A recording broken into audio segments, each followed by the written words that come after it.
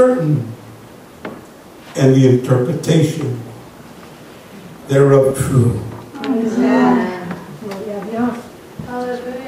Then the king Nebuchadnezzar fell upon his face and worshipped Daniel and commanded that they should offer an oblation and sweet odor unto him. Let us pray, Father God. We give you praise and we thank you, Lord.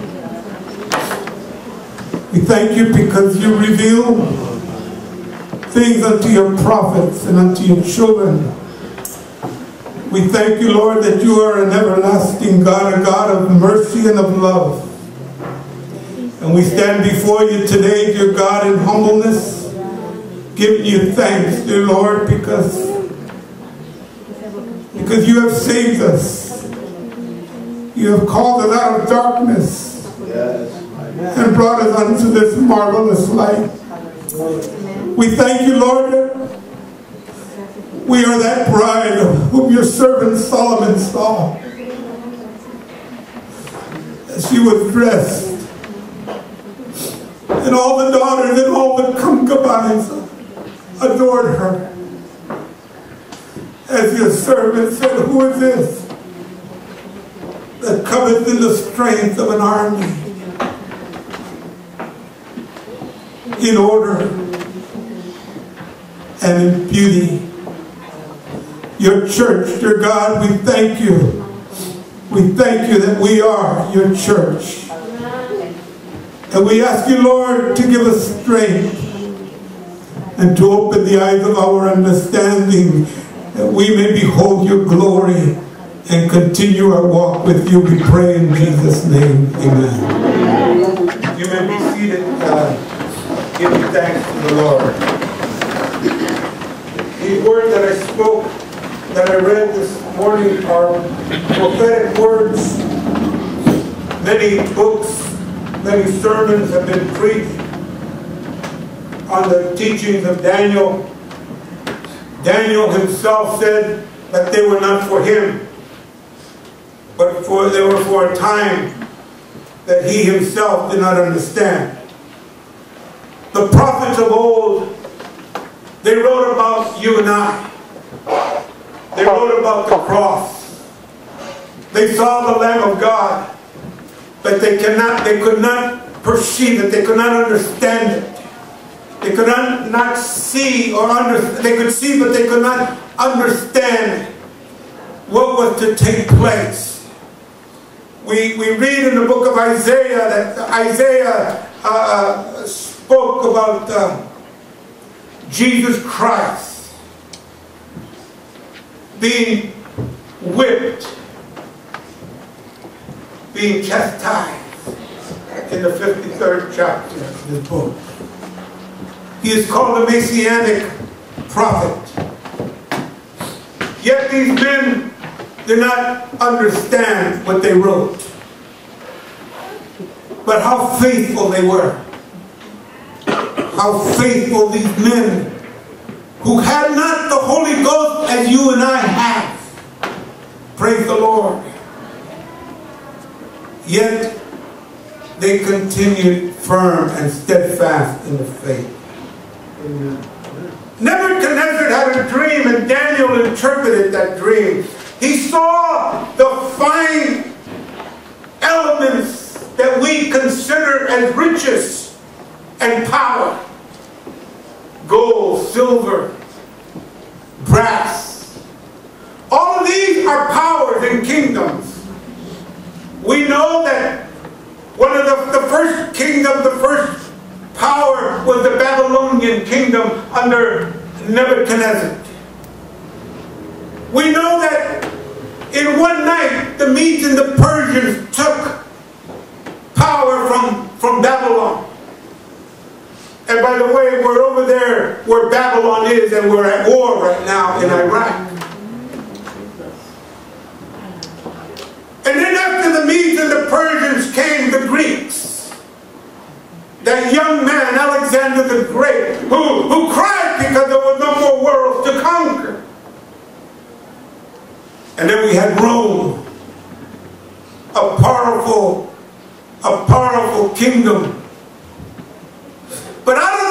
four powerful kingdoms, Daniel in his in his I mean uh, Nebuchadnezzar in his dream, he saw a stone cut out of a mountain without hands. Hallelujah! Gloria a Dios.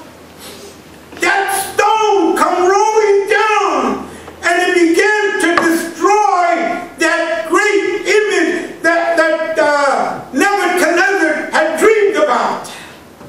The powers of this world were going to be destroyed by a stone. A stone is something smaller than a rock. Praise the Lord. Isaiah said, You shall see him but he has no comeliness in him. You would not desire to see him because there's nothing great about him. But he is that stone. Praise the Lord.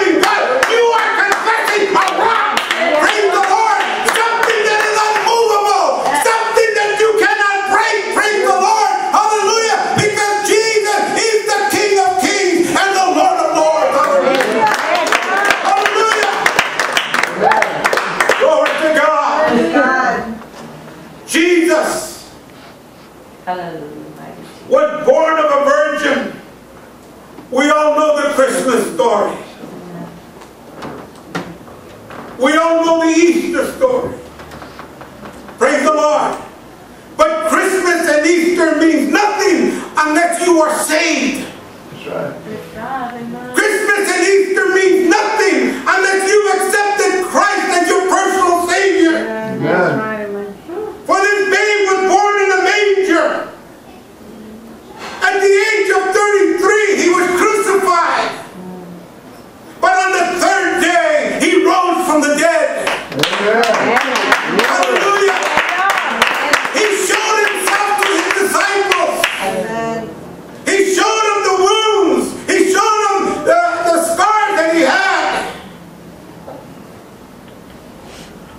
And then he, uh, before he ascended into heaven, he told just a few.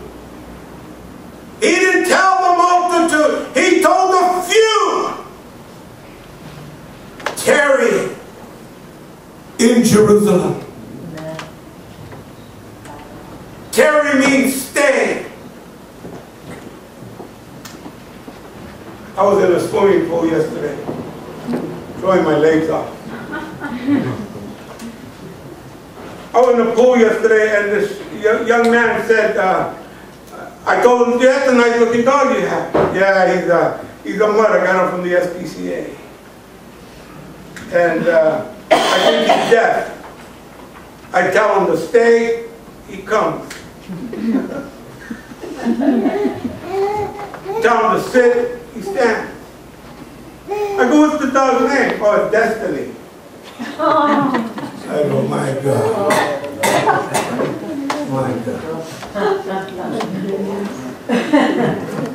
Someone, someone that I talk to. Praise the Lord. But we tell animals to stay, and they stay. Mm-hmm.